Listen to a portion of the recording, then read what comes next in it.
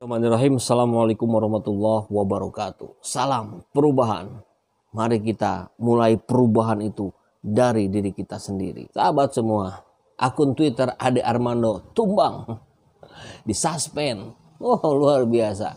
Setelah mulai mencoba berbalik arah nih para buzzer menyerang PDIP, menyerang Puan kena suspend. Jadi saat buzzer berbalik arah maka saat itu dia kena gebuk.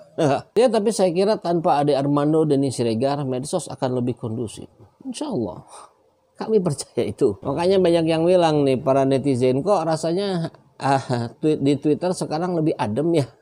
Oh ternyata gara-gara nggak ada Ade Armando berkicau yang ngaco-ngaco gitu ya. Iya jelas lah. Itu kan akun yang sangat tidak mendidik. Akun provokator. Akun pemecah belah bangsa ini. Saya kira sahabat semua sepakat ya. Kerjaannya menyerang umat Islam. Mengaku orang Islam tapi yang diserang umat Islam. Di mana logikanya?